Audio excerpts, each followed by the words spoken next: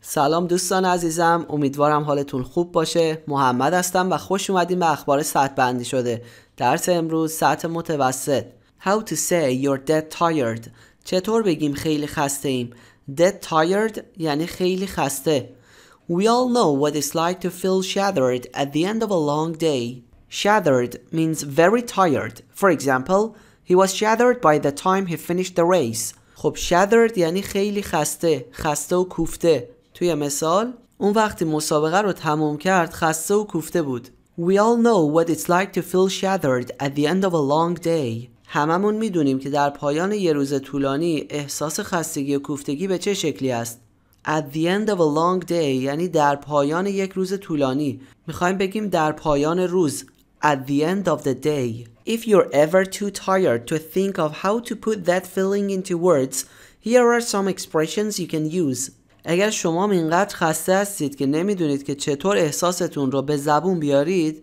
اینجا یه سری از اصطلاحات هست که می‌تونید ازشون استفاده بکنید. Put feelings into words یعنی احساسات رو به زبون آوردن. If you're tired because you have been working hard or doing too much you can say you are tuckered out.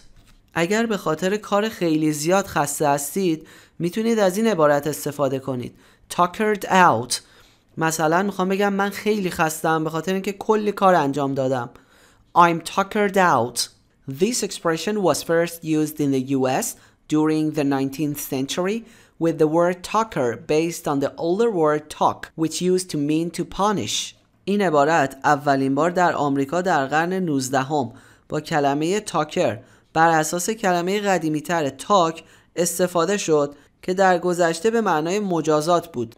So if your son fell asleep while eating his dinner, you might say to your partner, looks like he's all tuckered out after a long day at school. خب اگه پسرتون موقع خوردن شام خوابش برد ممکنه به همسرتون بگید به نظر میرسه که اون بعد از یه روز طولانی توی مدرسه خیلی خسته شده If someone feels like they have no energy to keep going you can say they have run out of steam Run out of means to not have more of something. For example, we've almost totally run out of food. خب run out of یعنی تموم شده به اتمام رسیده توی مثال تقریبا به طور کامل غذامون تموم شده steam the gas that is produced when water boils for example this train has a steam engine خب steam یعنی بخار توی مثال این قطار موتور بخار داره If someone feels like they have no energy to keep going, you can say they have run out of steam. اگر کسی این احساس رو داشته باشه که دیگه هیچ انرژی برای ادامه دادن نداره اون وقت از این اصطلاح می‌تونیم استفاده کنیم. Run out of steam. یعنی انرژی نداشتن خالی کردن خسته و بیرمق بودن. مثلا می‌خوام بگم من دیگه هیچ انرژی برای ادامه کارم ندارم. میگم I'm run out of steam. The expression comes from the time of steam trains. when a train would not be able to keep moving if it was not able to make enough steam خب این اصطلاح از زمان قطارهای بخار میاد اگر قطار به اندازه کافی بخار تولید نمی کرد نمیتونست حرکت بکنه So if your son often fell asleep during dinner your partner might say we should have dinner earlier he always runs out of steam at about this time خب اگه پسرتون اغلب اوقات موقع شام خوابش می‌بره همسرتون ممکنه به شما بگه ما باید زودتر شام بخوریم. اون تقریبا همیشه این موقع انرژیش تموم میشه. If someone is very tired you can say they're dead tired. اگر کسی خیلی خسته باشه از اصطلاح dead tired براش استفاده می‌کنیم. مثلا می‌خوام بگم من خیلی خستم. I'm dead tired. And if someone is so tired they feel like they could fall asleep at any moment You can say they're dead on their feet. حالا اگر یه نفر اونقدر خسته باشه که هر لحظه ممکنه خوابش ببره از این اصطلاح استفاده می‌کنیم. Dead on one's feet. Dead on one's feet. مثلا می‌خوام بگم من اینقدر خستم که دیگه هر لحظه ممکنه خوابم ببره میگم I'm dead on my feet. So you might say to your partner I'd love to eat dinner earlier. خب ممکنه که شما هم به همسرتون بگید منم دوست دارم زودتر شام بخورم. To be honest, صادقانه بگم I'm normally dead on my feet by this time too. منم معمولا تو این تایم انرژیم تموم میشه و هر لحظه ممکنه به خواب برم.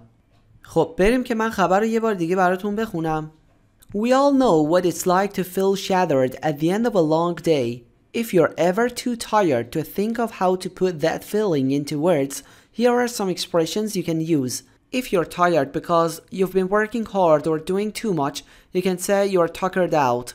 This expression was first used in the US during the 19th century with the word tucker based on the older word tuck, which used to mean to punish.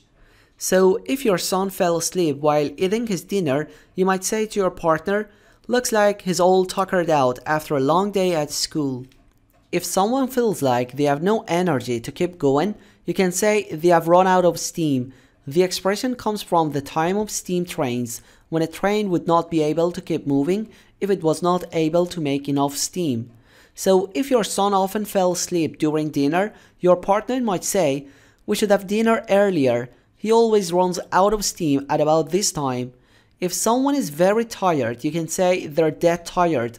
And if someone is so tired they feel like they could fall asleep at any moment, you can say they're dead on their feet. So you might say to your partner, I'd love to eat dinner earlier. To be honest, I'm normally dead on my feet by this time too. And the last part? Discussion. Number one. Have you ever fallen asleep while working or studying? Number two. Do you often take naps? Why? Why not? Number three. What time do you get up in the morning? Why? خب این بود از درس امروزمون امیدوارم که این اصطلاحات براتون مفید بوده باشه و مرسی که همراه ما هستید